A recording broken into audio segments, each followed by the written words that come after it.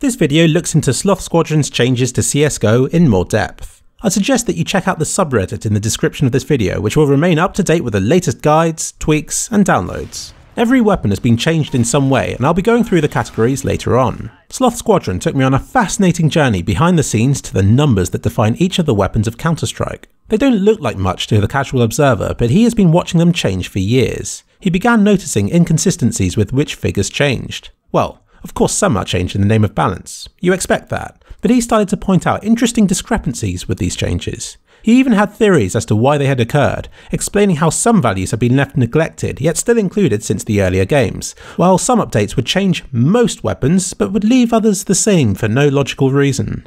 One example of this is the MAC-10's ridiculous accuracy when climbing a ladder when compared with other weapons, such as the Bizon. His weapon balance project has three main goals. Number 1. To improve some questionable design choices for some of the guns. There's nothing wrong with rewarding players for using weapons in particular ways, provided it isn't open to blatant abuse. It's hard to defend the accuracy of scout jumping when in conjunction with the hitbox problems, or how the Tec-9's run and gun accuracy has been exploited in countless games. This mod reduces the effectiveness of the said tactics, which go against the gameplay that most of CSGO tries to encourage. First shot accuracy has been increased. Many players from 1.6 had their tap-fire playstyle ruined once they moved to CSGO due to how inconsistent core weapons were at range.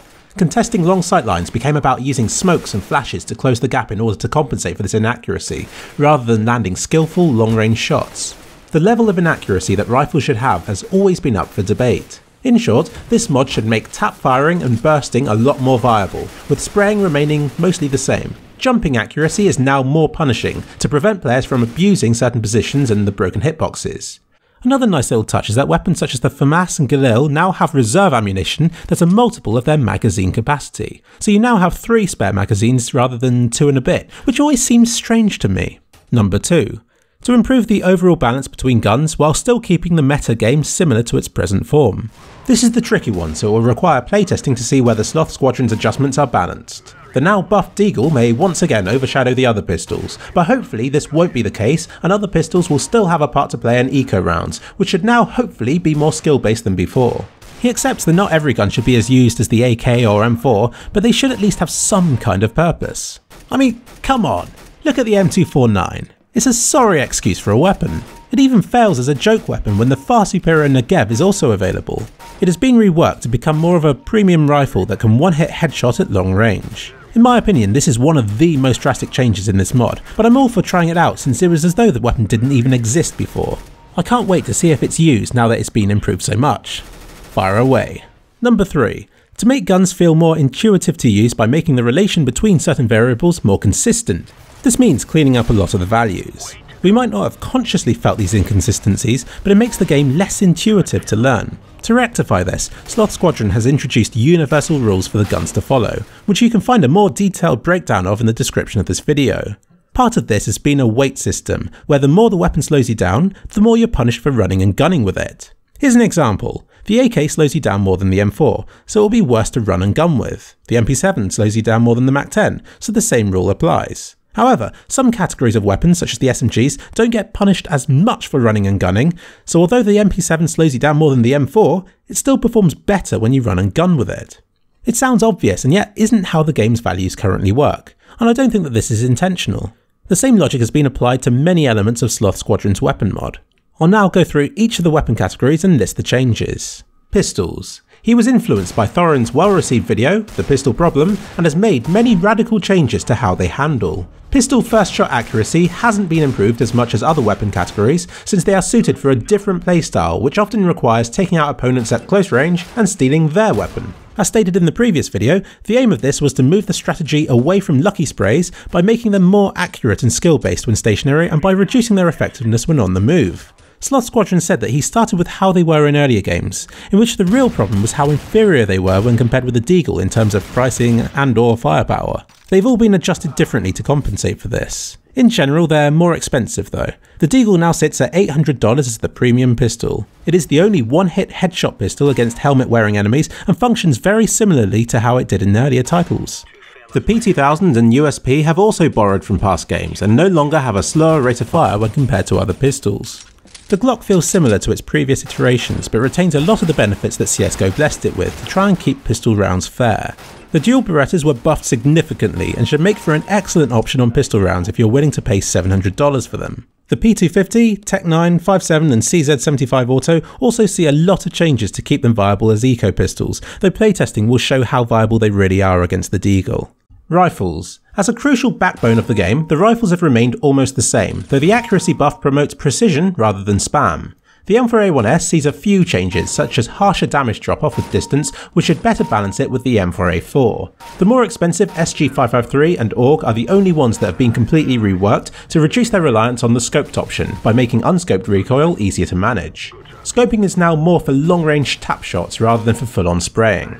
Hopefully they see some use in competitive play. Snipers. Now that rifles are more precise, they begin to encroach on sniper territory, so the recent movement nerf has almost been completely reverted to make the scope weapons more effective again. The scout is slightly more expensive and can't scout jump, but deals slightly more damage and has a more powerful scope, similar to the AWPs. The snipers are now more accurate when scoped to reduce unfair misses. The AWP's kill reward is back to $300 again. The auto snipers have been made more different in function. The SCAR 20 inflicts less damage, meaning that it will now take 3 leg shots to kill, to compensate, it is a lot more precise if tap fired.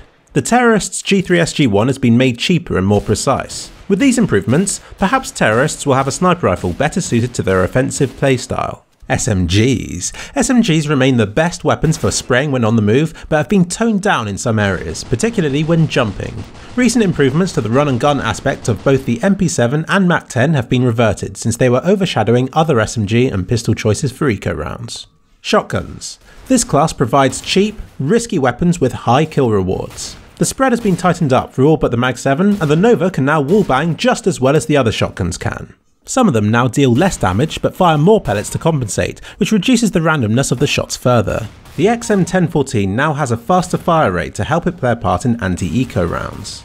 Terrorists seldom use shotguns, especially the slow and underpowered sawed-off, so it has had significant buffs to its running speed and spread, which should also indirectly help with damage. Its maximum range has also been upped, since before you wouldn't even hit the broadside of a barn if stood more than 650 units away. All shotguns are now less accurate when moving, meaning that you should stop to shoot for mid-range shots. It'll be interesting to see if people begin opting for shotguns when in defensive positions after these changes take effect. LMGs.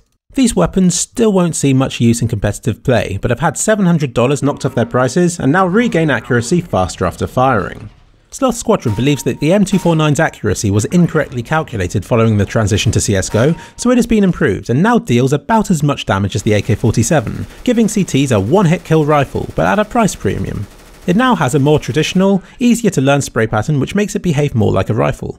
Even the Zeus has been adjusted. It is now just as light as the knife and always does 100 damage, meaning that people can no longer survive the attack. It is perfectly accurate unless the player is jumping or on a ladder. These script files were originally designed by Hidden Path Studios during the Counter-Strike Source era, and while Valve has adjusted them to fix many of the problems with weapon balance since the game's release, their solutions have often been messy or incomplete. He believes that they have gotten better with them recently, but still haven't fully mastered the control they could potentially have over the weapon variables. By analysing the weapon script files, he has found far tidier solutions to problems and has concluded that there's more to the system than meets the eye. Sloth Squadron has been working on this project for over a year.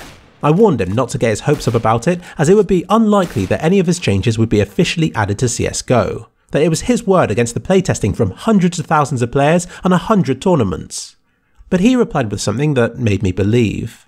All he wants is for people to know just how much can be changed, that a lot of the things that players may have thought were set in stone can be altered, and that suggestions can be implemented. And even if Valve doesn't make the changes now, learning about these design philosophies and potential solutions will help them in the future. And that concludes my more in-depth look at the changes. If you need more information still, then check out the description of this video.